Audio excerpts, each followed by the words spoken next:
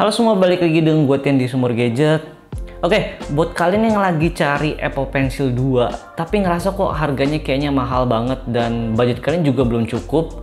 Nah, di video kali ini gue punya satu rekomendasi yang menurut gue ini adalah pengganti Apple Pencil dengan harga yang cukup terjangkau. Dan fitur-fitur juga ini bisa gue bilang mirip dengan Apple Pencil 2. Ya dong, gak usah lama lagi, yuk kita bahas. Oke, jadi ini adalah Mills Apple Pencil Series dari Mills Technologies. Untuk unit yang gua pegang ini adalah seri terbarunya ya, yaitu yang MP28. Yang mana sebelumnya itu adalah MP18. Bedanya apa sih? Jadi untuk seri terbarunya ini kita udah bisa wireless charging di bagian samping iPad kita. Nah, ini adalah fitur yang sama ya dengan Apple Pencil 2. Jadi buat kalian yang pakai iPad Pro atau iPad Air harusnya udah bisa sih pakai fitur yang satu ini. Menurut gua dengan kita bisa tempelin dan cas pensilnya, ini tuh meminimalisir kita lupa taruh pensilnya atau bahkan kita lupa ngecas. Kalau dibandingin Apple Pencil 2 yang punya harga sekarang di 1,6 sampai 1,7 jutaan, Mills Apple Pencil Series ini dibanderol cuman di harga 595 ribuan. Harga yang menurut gua ini tuh bener-bener terjangkau ya untuk kaum kereore kayak gue.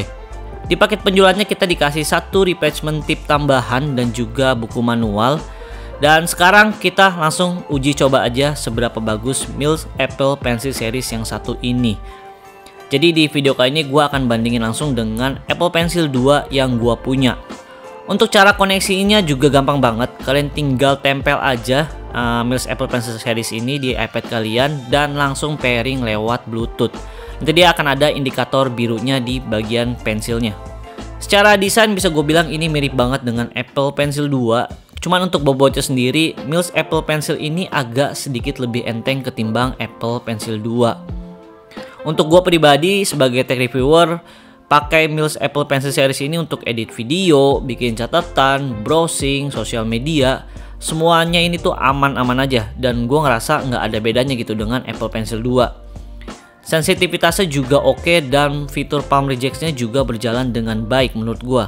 Fitur tilt sensitivity di Mills Apple Pencil ini juga termasuk udah oke kok. Jadi untuk fitur tilt sensitivity ini itu tuh konsepnya seperti pensil beneran. Contohnya kalau misalnya kalian lagi mau mengasih gambar ya tinggal dibuat miring aja sudut pensilnya. Nanti dia akan menghasilkan garis yang tebal. Begitu pula juga kalau misalkan semakin tegak sudut pensilnya maka garis yang dihasilkan akan semakin tipis. Oh ya karena di sini kita dapat replacement tip tambahan.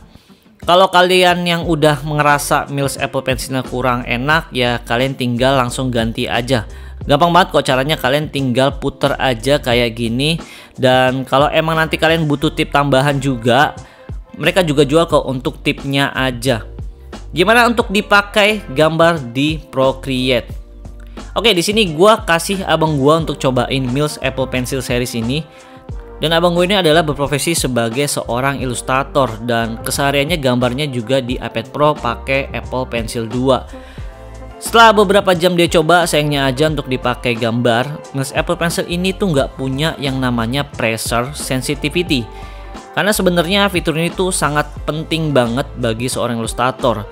Nah, pressure sensitivity itu apa sih? Jadi kalau misalkan kita tekan gitu, kita agak tekan, dia akan buat garis yang agak lebih besar. Dan ketika kita nggak terlalu tekan, dia akan uh, buat garis yang lebih tipis gitu. Jadi menurut gua nggak cuman tilt sensitivity aja yang penting, tapi pressure sensitivity juga sangat penting untuk seorang ilustrator. Dan itu kepake banget kalau misalkan kita lagi gambar. Jadi ya ini menurut gue adalah kelemahan dari Mills Apple Pencil Series ini. Oh ya buat kalian yang penasaran dengan karya-karya Bang kalian bisa langsung kunjungi aja Instagramnya ya. Nanti gue taruh di link deskripsi di bawah. Menurut gue ini kekurangan yang wajar sih karena sebagus-bagusnya merek third party kayak gini, versi originalnya udah pasti paling lengkap fiturnya.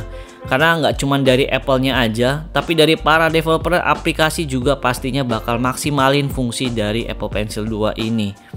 Oh ya buat kalian yang emang sering banget bikin notes pakai Apple Pencil, Mills juga nyediain kok screen protector dengan tipe Paperlike. Jadi bedanya dengan screen protector biasa atau mungkin tempered glass adalah dia punya tekstur seperti kertas gitu. Jadi feelnya kalau misalnya kalian lagi nulis kayak nulis di kertas beneran. Tapi ada satu kekurangan kalau misalnya kalian pakai screen protector tipe Paperlike kayak gini, itu warna DLR-nya itu agak sedikit turun. Sedikit doang sih sebenarnya nggak terlalu jauh banget.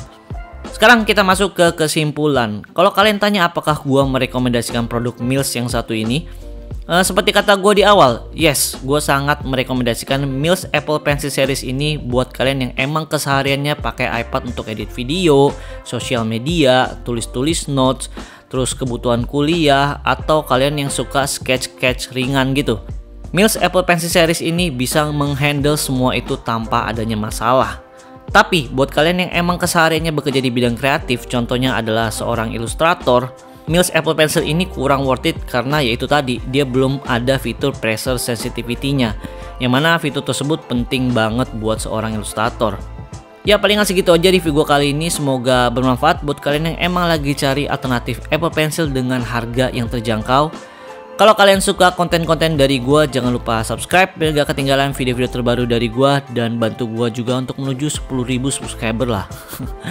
Oke, gue Tian dari Sumur Gadget, pamit.